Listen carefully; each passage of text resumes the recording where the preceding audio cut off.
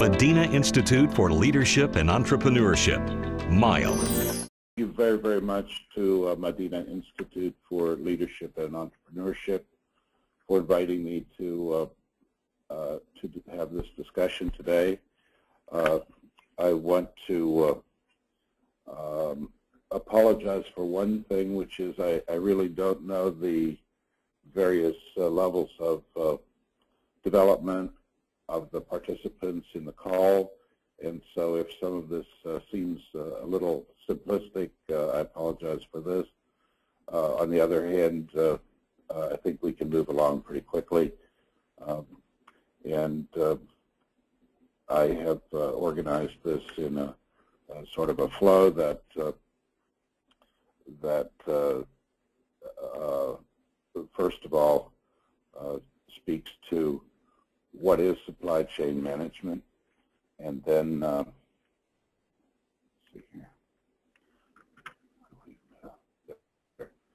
And what is supply chain performance, and then how do we uh, plan and control and measure it? How do we include and incorporate internal and external supply chain elements? And what are the next improvement opportunities afoot? We uh, certain certain organizations are farther along the, the supply chain management development spectrum than others, for sure. Uh, and uh, uh, you may you may see yourself uh, much farther along or less far along. We can discuss this in the questions and answers. So why why does supply chain performance so often degrade over time? What are some of the common pitfalls? And are your teams looking at the whole picture? Are you able to integrate strategy with tactics and logistics across the resource life cycles? And finally, how can you optimize and continuously improve supply chain performance across your organization uh, and uh, with a sustainable model? As well as how can you incorporate the practical realities of sourcing markets and demand dynamics. This, this slide is a, a very, very simple illustration of uh, what are supply chains. Not everyone has the same point of view, uh, but uh, most of the supply chain focus, management focus, in fact, has been on when and where the products or services are available and where are they needed. And so that's really the distribution uh, element uh, shown on the lower right side of this screen. There are, of course, uh, several other stages to the supply chain, and some organizations have reached uh, further forward in the process, as well as further further uh, uh, backward in the process to incorporate questions such as how are the products and services prepared or performed uh, at the front end, and who in fact are the suppliers. Uh, and then at the back end, who, who really are the customers? There are further stages that are uh, certainly uh, being addressed in some supply chain management structures. Uh, and in fact, some of the questions begin to change. So in the center, for example, uh, of this uh, slide, you can, we might ask ourselves, who are the best suppliers? Not only who are the suppliers, and uh, from the customer standpoint, who are the best customers? Uh, these begin to ask questions that are not isolated to supply chain management. And this is a significant point because it's the integration of supply chain management with the overall enterprise management that becomes uh, kind of the leading edge for uh, further development. Uh, where are the significant improvement opportunities? In addition, uh, some organizations have done well to begin addressing on the left side where are the best alternative sources of supply, uh, beyond the supplier, uh, let's say distributor or, or uh, uh, manufacturer, and what do the users, the end users actually seek, and even what do they really need. We recently, uh, well, a few years ago, did the, I was working with Compass Group PLC, and we performed the catering functions for all of the Asian games that took place in Doha, Qatar. And we, we actually had to ask ourselves many of these questions that were far beyond uh, simply the distribution of the uh, food and non-food products to the Asian Games. Uh, in that case, we had uh, several thousand SKUs, uh, types of uh, product that we had to deliver. Much of it had to come from very far away locations, from Korea, from South America, from certain parts of South Asia even, and we we definitely had to uh, we we had 45 to 60 day uh, over the water logistics as well as the customs and uh, and other local logistics in Doha just uh, to keep the cold chain uh, in good order and to uh, to get the products delivered to the venues. So what is really supply chain performance as we define it now? Uh, it measures not only the supply chain and its respective costs, uh, but also the, the cost that it affects and the opportunities that it generates. The cost of the supply chain infrastructure, of course, are the, are the shipping costs, the transportation and warehousing costs, uh, as well as the uh, uh, logistics of services around these. Then the the the uh, uh, the cost that affects though can be six to seven times higher than those costs, and these are the I call them here frictional costs of waste and opportunity losses that the infrastructure itself generates. These can be in the form of idle or surplus inventories, uh, aging inventories, early or late deliveries, incorrect products and services.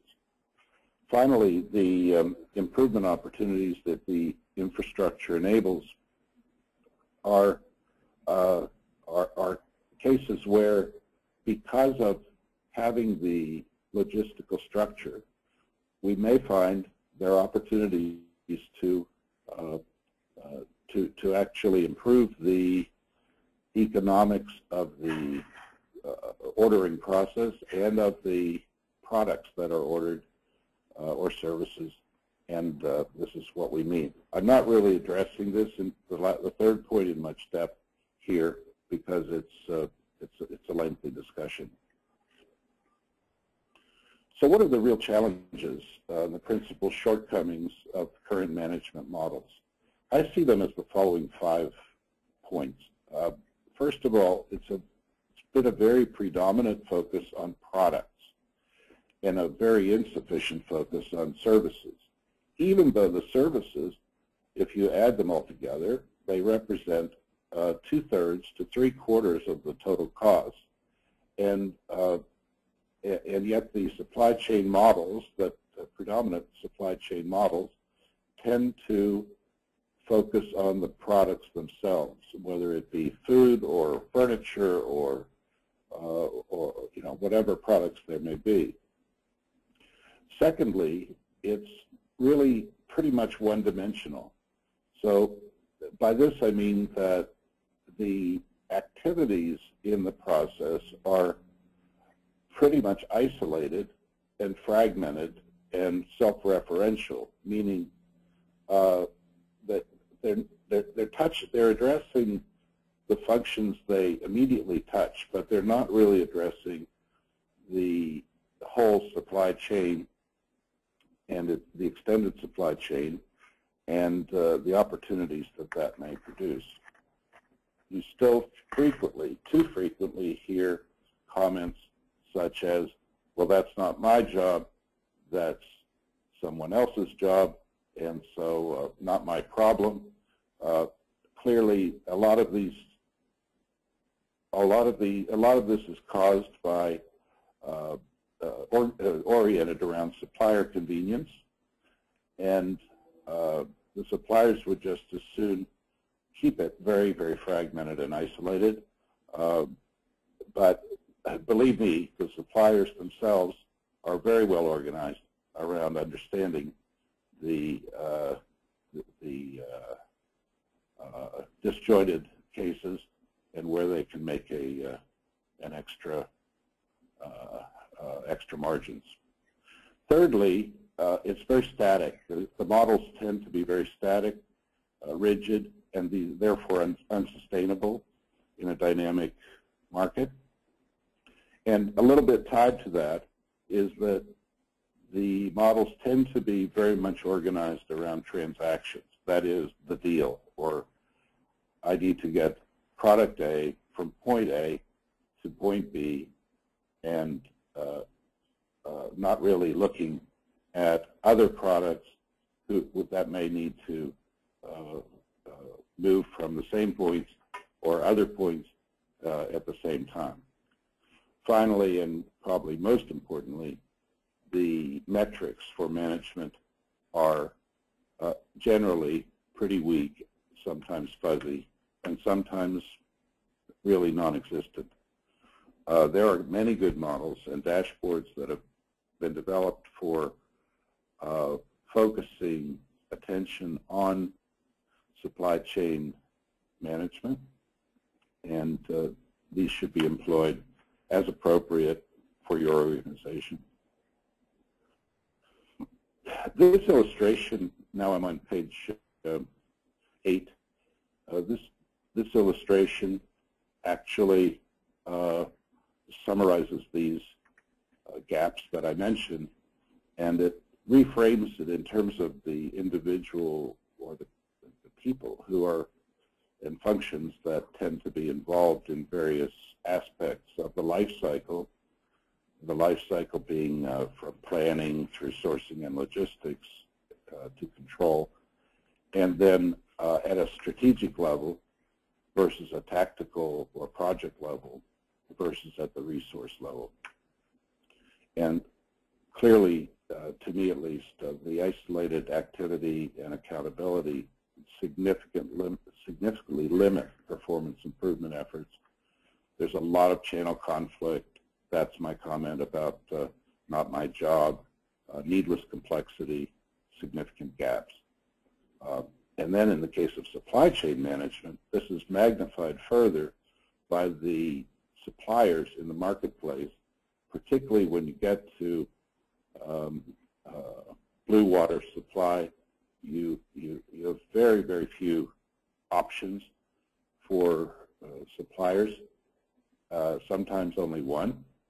And um, as I mentioned earlier, these suppliers uh, actually gain a great deal of margin by the uh, disjointed uh, organization that some companies have within themselves. And they're very good at exploiting this.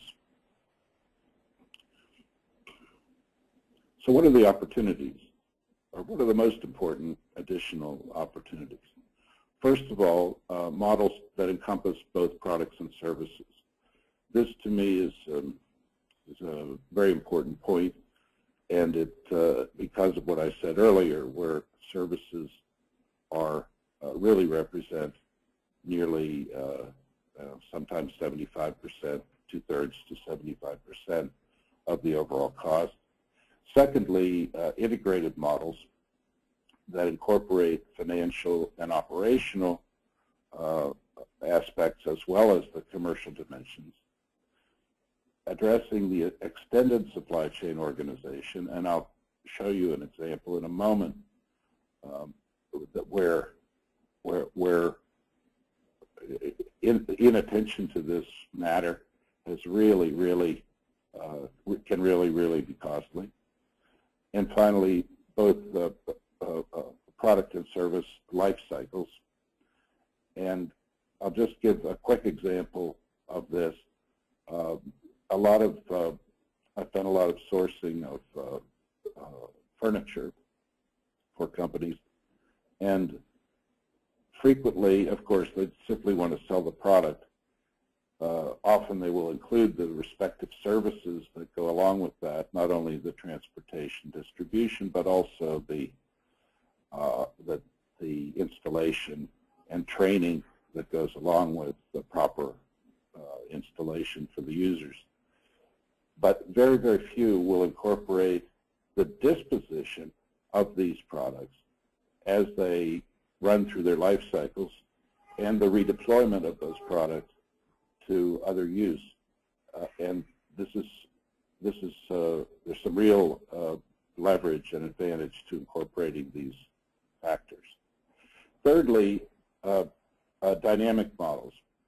And so what I mean by this is including strategic sourcing, the whole process from strategic sourcing through marketing, including a robust range of alternatives.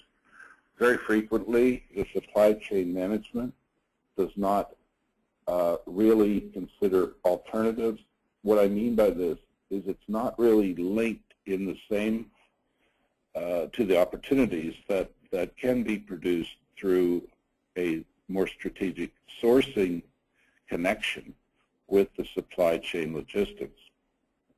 And we found a great many opportunities in this space uh, because a, a, small change in specifications may uh, offer tremendous opportunities for cost and timeliness as well as even customer service quality. The fourth point is linkage across strategy, tactics, and logistics. Uh, the, and the fifth is about metrics and accountability. I mentioned that I would uh, show a few, so, so this you might think of as the objectives that, and I'm going to come back to this in a moment. Uh, and and the, the next point is about context. Actually, context to me is one of the most important, maybe the most important aspect of incorporating in uh, advanced supply chain models. Uh, many of the plans I've seen fail due to poor understandings of context.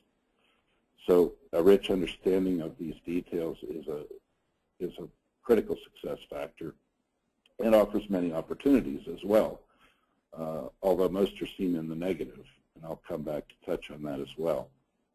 So here are just a few examples. A financial services company uh, filled a warehouse with standard forms, thinking they could um, maybe use them over time and save some money due to uh, a large order a large large order size.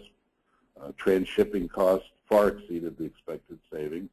Many forms became obsolete before they and, and many could not even be located in their inventory system.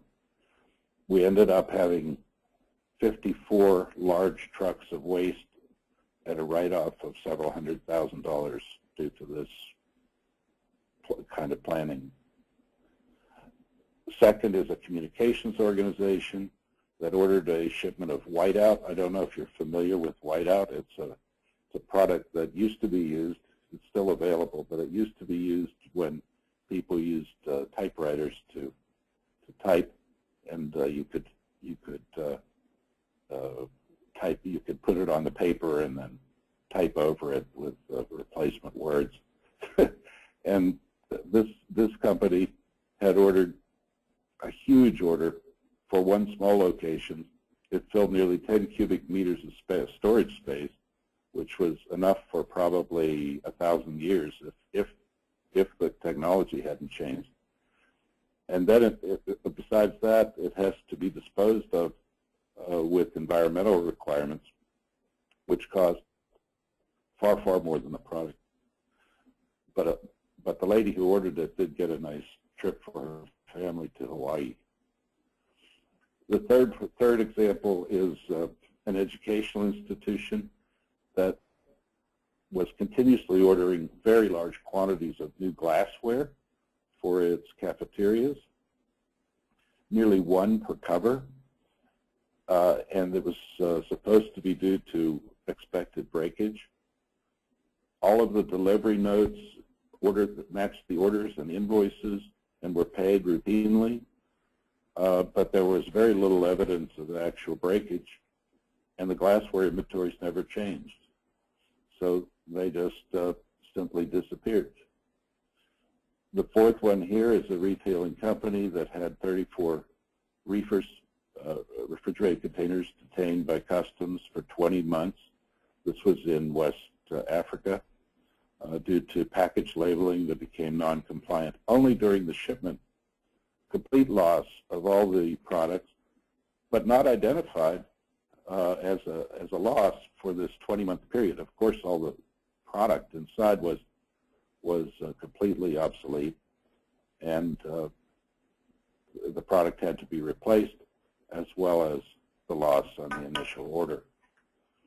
Finally, uh, a catering company needed to ship uh, chilled halal products to Mecca during Ramadan in 44 degrees Celsius conditions, uh, but the non-Muslim drivers were uh, barred during the last stage of delivery. All of these are solvable, and uh, but they're much, much easier to solve in advance. And these are summarized, that is the objectives I mentioned and the contextual uh, uh, aspects are summarized on this slide. And so what are the objectives and the context? And how do these frame the criteria that should be applied uh, or considered, sorry, in the, in the models that you develop? First of all, the objectives, uh, which here I call opportunities, uh, to be dynamic, to be scalable, accountable, sustainable, and transparent, as well as to incorporate life cycle factors as appropriate. And then contextually, the transport, of course, the transportation and storage infrastructures, security, health safety, environmental factors, regulatory factors, and uh, cultural and language factors. Um, and so, and these combine to uh, define uh, common optimization criteria. These differ by organization, but uh, basically they're covering several uh, dimensions of the, uh, the management spectrum, operational, commercial, financial, organizational, and managerial, and then also cross-referencing uh, kind of transparency and intelligence, leverage and continuous improvement, uh, modularity and flexibility, and uh, risk mitigation.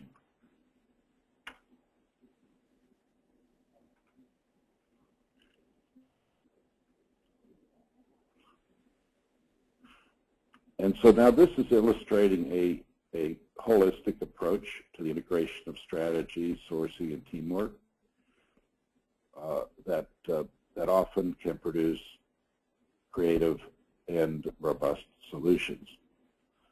And this is the same diagram that we illustrated on the earlier page, and more focused now on kind of some of the tools that can be used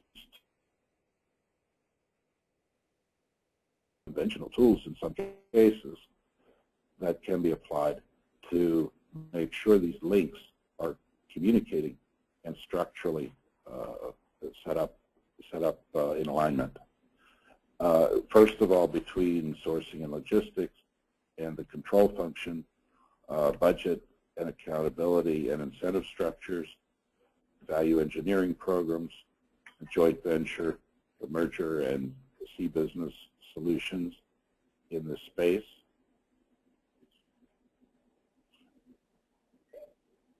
Then between the sourcing and logistics uh, tactically and to the resource level, uh, competitive rate cards, SLAs, contracts and monitoring tools, and inventory and demand management tools. This reaches now, of course, to the to the uh, end user in many cases uh, when it comes to demand management. but we find that there's a great deal of uh, opportunity to uh, to to modify the specifications if you can illustrate the, the, the economics and benefits of doing that. We did have a request one time recently for um, uh, no-fat butter on a on a, a catering operation, and um, said we we don't know what that is, and we actually uh, we actually uh, were able to find a solution. uh, this this uh, slide is illustrating some of the tools that would be useful in um, in bridging across uh, from planning uh, to sourcing and logistics, or vice versa, uh, at the tactical and resource level, meaning uh, inventory, supplier, and contract valuations, market research and metrics, and benchmarks, and financing alternatives.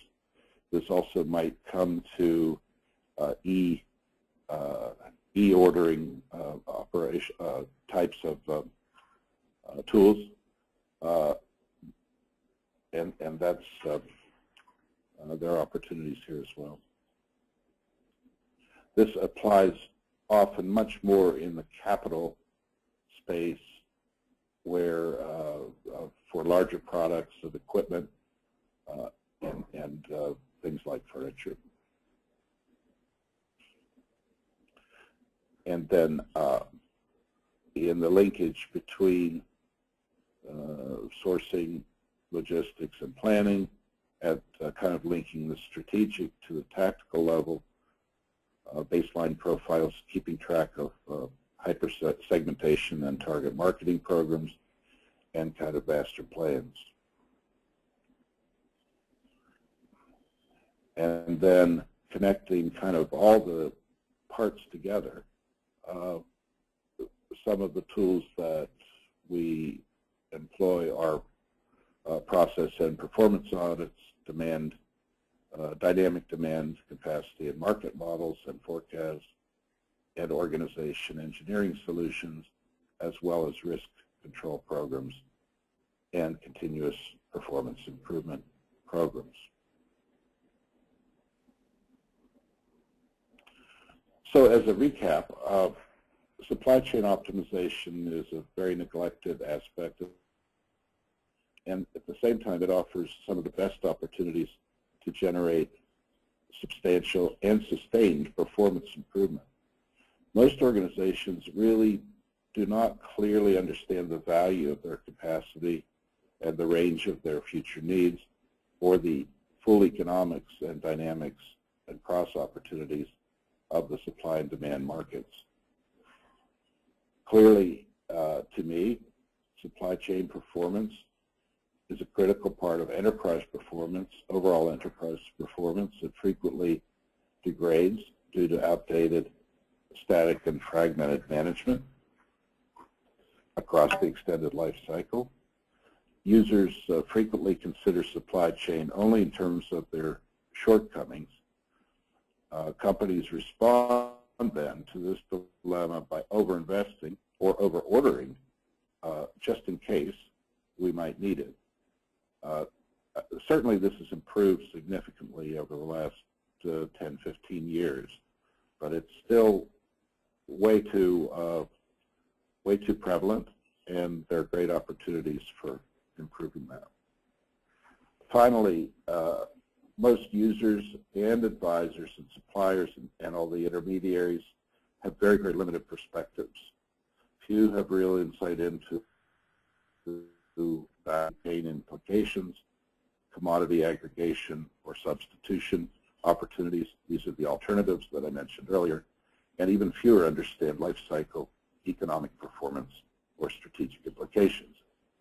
So the best approach to optimizing and continuously improving supply chain performance is a comprehensive model that accounts for uh, contributions to enterprise success.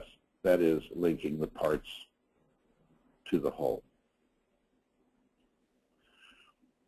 this is simply a, um, a uh, summary model that, uh, that, that illustrates the, the kind of five key elements to preparing a, uh, a sustainable supply chain optimization engine. Uh, and it really includes five parts, as I mentioned, uh, the planning, the sourcing and logistics, and the control, but most importantly, the glue that holds it together, the management information systems that link the information from all those parts, those uh, stages, with the ta talent and organization alignment. And th by this I mean for the extended value chain. Uh, and this is uh, th this is a diagrammatic illustration of, of that. Planning is really ensuring in advance that the needs are effectively specified at the lowest possible cost. The sourcing and logistics, then designing and executing competitive leverage relationships to deliver world-class resources at the preferred location, time, quality, cost levels, and control maintaining long-term cost and quality management. I'd like to uh, close my comments with just a quick um, high-level diagnostic checklist that you might consider. Where is your organization on the supply chain development spectrum, and where does it need to go next? These are these are often the questions that we ask uh, at the outset of a, of a discussion. Has the organization defined its supply chain policies, procedures, standards, and performance objectives and criteria? Are they measured? Uh, and so that means also, of course, has, have the metrics been defined? Secondly, how well are they aligned and integrated with enterprise performance criteria? So cutting across sourcing and contract management, uh, marketing, and overall uh, management of the enterprise. Thirdly, does the organization have the systems and structures and mechanisms to manage supply chain performance optimization? And even though some have these systems and structures, they don't apply them. So does, does it apply them? Are they applied? Are they basically used for performance management across the extended supply chain. Fourthly, are our supply chain accountabilities clearly and consistently defined, measured, and, quote, actioned across the whole extended supply chain? And does the team work? Meaning, does the team work together um, as opposed to in isolated um, um, silos? Another one is how well does the organization identify, motivate, and reward innovation opportunities? One of the things that we've found we have to implement is a system to really gather uh, in a systematic way the ideas that are available throughout the extended supply chain to apply to improving the overall supply chain. Often these are kind of kept quiet uh, because there's no mechanism for their communication across the enterprise. So this might be, it might even be a, a truck driver, uh, or it might be a, uh, a, a, building engineer who knows exactly what could uh, what could save a lot of time and money and uh, uh, improve the timeliness of the logistics, but, but they simply haven't been asked and they don't have a mechanism for communicating it as well-intentioned as they may be. And so I'd like to uh, kind of wrap up at this point and uh, turn turn the discussion back, please, to um, uh, to Ali, and uh, we can have any questions or answers. Well, thank you very much. Ellis. Uh, folks, we are open for the question and answers. So if you have any questions, you could either put your questions in the question box or you could raise your hand. There's a hand icon available on your console and we can uh, uh, we can give you an opportunity to speak to the speaker. I can unmute your microphone. So any questions you have, uh, please put it in the question box. Apparently, we have no questions so far at the moment, so we'll wait. Or anything you would like to add, um, uh, Mr. Sellis, before any questions popped up? Uh, no, but I, I, really do wish to thank you and all of you, the, the audience, to uh, for the for the opportunity to uh, prepare these comments, and uh, I hope that they may be useful to you in uh, wherever you may be in the uh, supply chain development process. Well, thank you. Um, apparently we have, okay, let me see, we have a question box popped up. Well, people are actually commenting and saying thank you. Uh, however, we have not received any single question as such as yet so far. So I guess uh, we might as well conclude it here with a note. Once again, thank you very much, Mr. Celli. I would like to thank you on behalf of the Madinah Institute for Leadership and Entrepreneurship. And thank you all of those who participated in this webinar. Uh, and uh, uh well, we have one question, so it just popped up. So let me go ahead and straight away, if you don't mind, I'll ask from Mr. Mark Stora. The question is, how would a company begin to fix the unfixable, unfixable if we have a problem in the supply chain?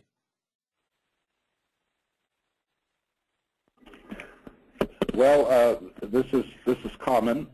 Um, we certainly, I mean, I certainly see it practically every day. Uh, and the unfixable, I don't, I actually don't know the, the term unfixable. I, I mean, I understand it, but but uh, pretty much uh, anything can be fixed. I mean, uh, of course, I can't fly the the supplies to the moon and back. But I mean, the, the, uh, almost always at the root of the issues are the are the uh, definitions of the specifications and the the um, I call it demand management on the part of the end user. Uh, like my example of no-fat butter, I mean, how do we find this that's unfixable, that doesn't exist. Uh, we can't create this from from nothing. Uh, so we, we have to manage, incorporate within the process uh, the need to manage the expectations and the demand side of the equation. I think so often I've seen supply chain management organizations who simply take an order from another party, maybe they're more senior ranking in the organization, and they they say, well, I you know I I want this, I need this, I need it yesterday. Uh, why aren't you getting it to me? And and then so often uh, there's not a response. This takes active listening, um, active management of of your customer and the rest of the uh, stakeholders in the process. The other side of this, of course, is that the supply chain, we didn't really go deeply into this, but the supply chain supply community, such as the over-the-water uh, uh, logistics suppliers, uh, are, is a, is very very uh, ha, has very very limited options in many cases between uh, one port to another between um, on a certain date. I mean the dates often are not guaranteed, as you know, and so uh, these these kind of issues, you know, you can't get. How do you get? we had at, the Doha Asian Games, we we had a lot of rain unexpectedly, and so we had to find uh, on short notice actually uh, 10,000 rain parkas for the staff uh, to get them there uh, and to get them there within hours. Uh, of course, we, you know, I mean, is it is it impossible? No, it isn't. I mean, we found them, we shipped them, we got them there, we got them distributed, we got them through customs, and uh, it is possible usually to to solve. It's better if you can anticipate these things, but we did not anticipate rain in Doha at the Asian Games. Sorry, I went on a bit long. Well, thank you very much. And now we have a couple of questions. So uh, let me go to a caller who has raised his hand. Uh, we have uh, Brother Zain Al-Rumani. Brother, could you hear us? Please introduce yourself and ask the question. Yeah, I'm hearing you. Uh, good afternoon for everybody. Thanks for the uh, informative uh, presentation. Uh, my question is, do you think the advanced technology can bridge the geographical geographical gap between the supplier and the end user? I, I didn't hear the entire question. Advanced, uh, whether advanced technology can, uh, I didn't hear the word. Yeah, bridge the gap, the geographical gap between the supplier and end user. Uh, absolutely, yes. Uh, this is we're doing this um, frequently because at the end of the day, really, we're we're simply trying to get a product from from uh, a supplier who has it at point A to the end user who needs it at point B, and uh, this is all this is all incorporated within management models that identify uh, uh, that that that need and uh, immediately incorporate it within the within the uh, uh, the ordering process, the the requisition process, I should say, for sure. Well, thank you very much, Brother Zain. Have to have to reach reach out to, to incorporate that that end users uh, to to to uh, incorporate the end users need within the model, and that frequently is not done. Okay. Okay, thank you very much, Brother Zain, uh, for your question. Uh, and let me move to another question we have from brother Wajahat Abdullah Wajahat. The question is, how do companies manage supply chain resiliency and measure risk index?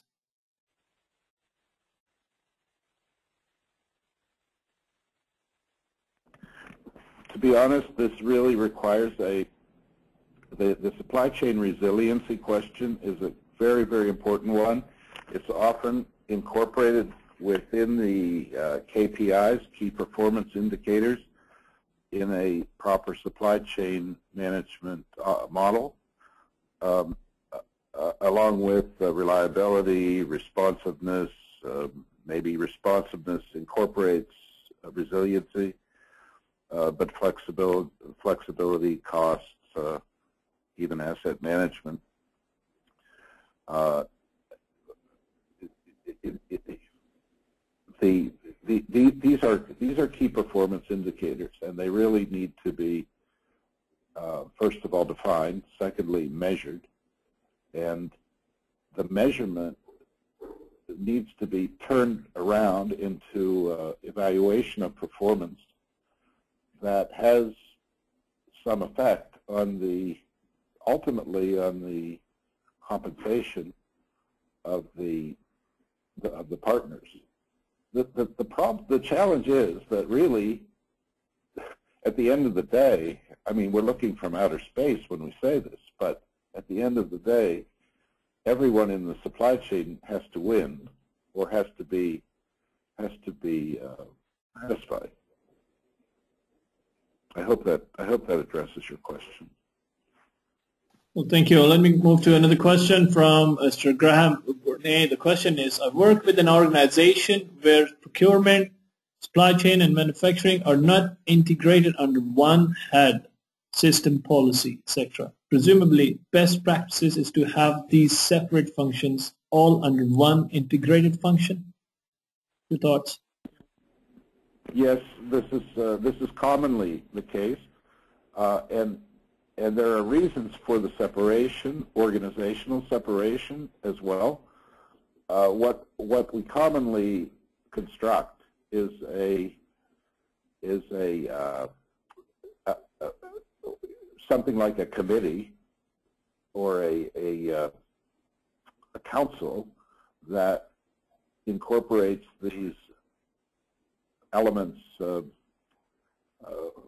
and often this is a pretty high-level committee. Depends on the on the the organization's product or service, and it depends a bit on the um, on on the markets that it serves. But uh, uh, one way to solve it is definitely with a council or committee. I don't know what term you may use for this, but it it has, as its membership, it has uh, the the the uh, procurement, supply chain, manufacturing parts. When I worked in the menu, when I uh, managed uh, the, uh, the, the facility function at uh, a large manufacturing company in the U.S., this was very, very critical because supply, first of all, procurement is critical due to the cost of the product. Logistics is also critical. In this case, it was a defense contractor uh, in the U.S. Uh, and also, uh, uh, and the manufacturing was very, very high tolerance uh, driven. And so we, we really had very high specifications, some overlay criteria for the sources of supply, and uh, and, the procurement. Uh, we we link the procurement with the manufacturing and the supply chain logistics in the form of a of a council that had a regular charter, uh, sorry, a charter and a regular schedule of of discussion.